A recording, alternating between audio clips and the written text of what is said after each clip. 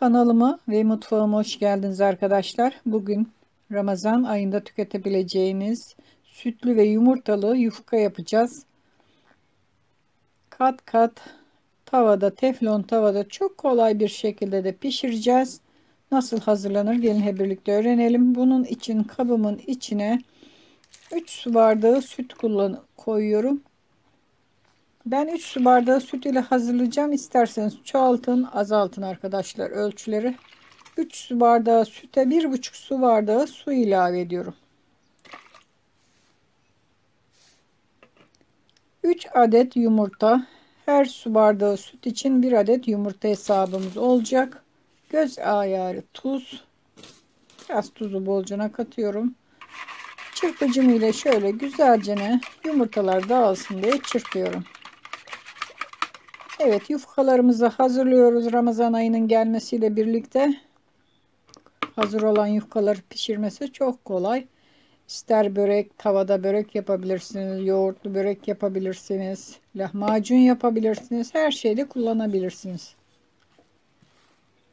Evet, üzerine un ilavesine geçtik. Un ilavesi ele yapışmaz bir hamur olana kadar devam edecek. Her zaman söylediğim gibi ilk aşamada kaşık ile elimiz batmaması için bu işlem. İsterseniz elinizle karıştırın. Daha sonra da elim ile hamuru güzelce toparlayacağım.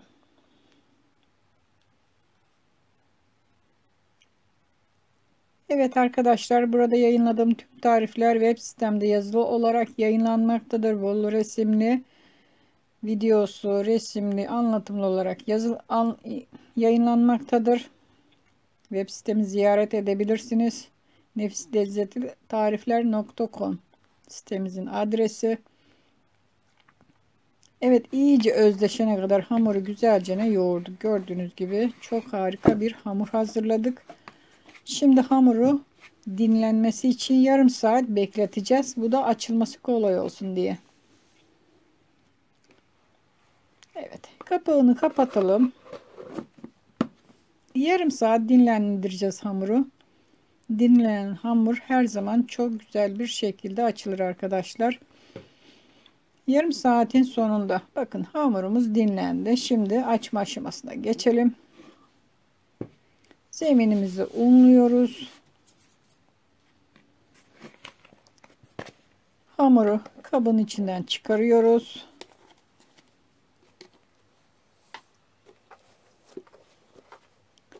Şöyle güzelce hamuru toparlıyoruz.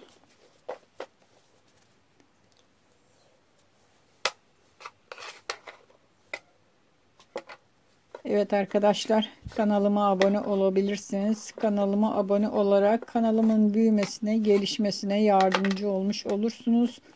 Desteklemiş olursunuz ve ailemize katılmış olursunuz. Kanalıma abone olmak ücretsizdir ve ücretsiz olarak her zaman devam edecektir. Bu da size küçük bir hatırlatma.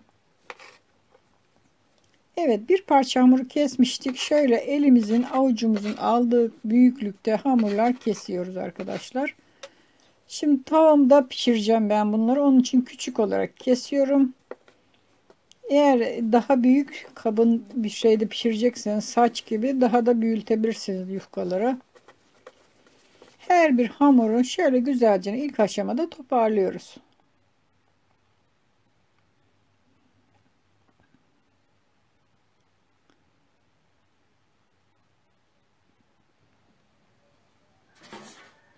Evet.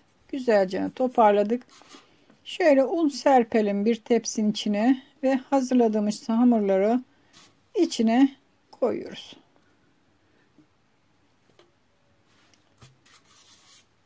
Ne kadar hamur çıkacaksa hepsini tamamen keseceğiz, hazırlayacağız. Diğer kalan hamurları da aynı şekilde keseceğim arkadaşlar. Evet sütlü ve yumurtalı yufkalar hazırlayacağız bugün.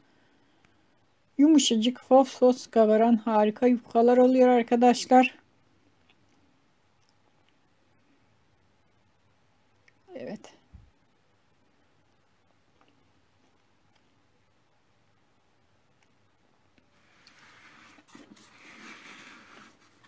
Gördüğünüz gibi tüm hamuru ben kestim. Hazırladım. Burada ne kadar derseniz 30 adet hamurumuz vardır.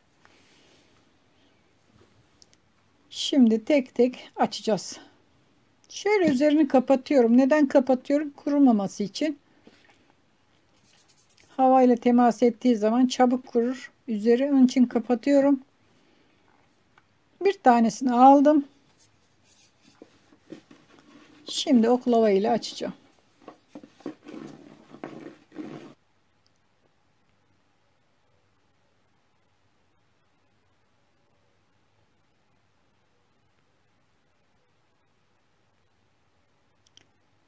Kabımızın büyüklüğü kadar açacağız. Tavamızın büyüklüğü kadar açacağız. Saçta pişirsek çok daha güzel olacak bu arkadaşlar da herkese saç olmadığı için ben de teflon tavada yapımını size gösteriyorum. Bakın şöyle tavamın aldığı kadar büyüklükte açtım. Bir tane açtım ki koydum ki ölçü olsun. Evet. Şimdi kalan hamurları bu şekilde açacağım.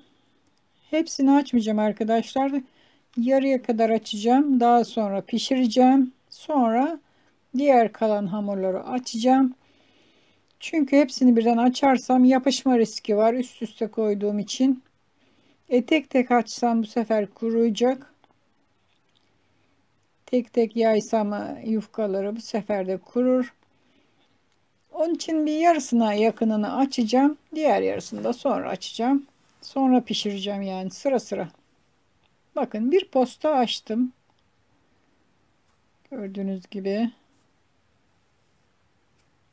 Harika yufkalar oldu. Bakın bu kadarını açmışım arkadaşlar. Şimdi pişirmeye geçeceğim. Diğerlerini daha sonra hazırlayacağım. Devam edeceğim yani. Hemen şimdi pişirme aşamasına geçelim. Tavayı ocağa koyduk. Ocağımız yarım ateşte yani kısık arkadaşlar. Çok hızlı harlı ateş değil.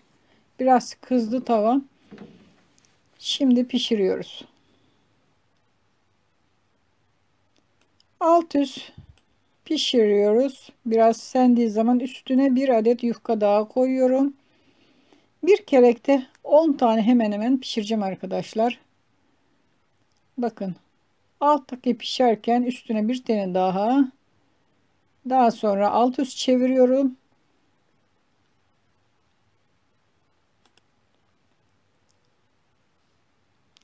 Bakın kat kat pişiriyorum. Hani pişmez diye korkmayın çünkü pişiyor içindekilerin de sıcaklığından zaten pişecektir Alttaki pişerken üstüne bir adet yufka o pişerken bir daha koyuyorum. Bu şekilde hazırlıyorum. Tüm yufkaları bu şekilde bakın. Yani elimle kaldıramaz olduğum zaman e, bir spatula yardımıyla bakın kaldırıyorum arkadaşlar. Eliniz yanma yapabilir. Onun için bir spatula ile kaldırın. İlk aşamada ben elimle yaptım. Daha sonra sıcak olduğu için spatula'ya geçtim. Evet gördüğünüz gibi yufkalarımın birazını pişirdim. Şu anda sıcak bunlar. Bunları ne yapacağız? Şöyle çıkaralım. Bir bezin üzerine, sofra bezin üzerine hepsini yayacağım.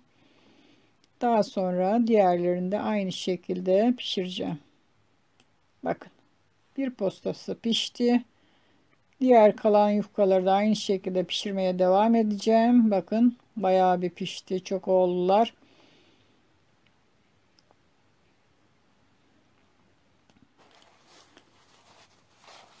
Evet arkadaşlar.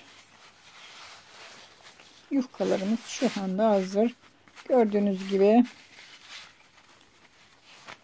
Evet. Bakın. Soğudu yufkalarım.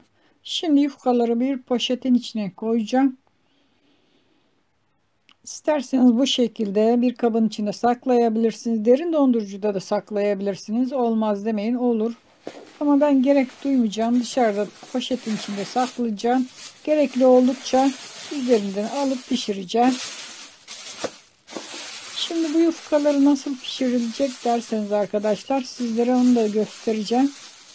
Biraz sona kaldı videonun ama Evet bu şekilde saklayacağız arkadaşlar. Bu şekilde koyduk. İster bez içine saklaya, koyarak saklayabilirsiniz. İster benim gibi böyle poşete koyabilirsiniz. Hiçbir şekilde bozulma yapmaz. Pişti çünkü yufkalarımız. Şimdi nasıl pişireceğiz arkadaşlar? Şimdi böyle bir kabın içine su koydum. Bir tane yufka alıyorum. Bakın. içine güzelce suya bandırıyorum. Islamadan pişirmeyin çünkü kuru olur. Suda şöyle alt üst geçirdik ve ısladık. Gördüğünüz gibi bezimizin üstüne koyarak suyunun gitmesini bekliyoruz. Daha sonra pişiriyoruz. İçine malzemelerini koyup ister tavada ister fırın tepsisinde pişiriyoruz. Bu şekilde hazırlayacağız. Umarım beğenmişsinizdir. Hoşçakalın. Afiyetle kalın arkadaşlar.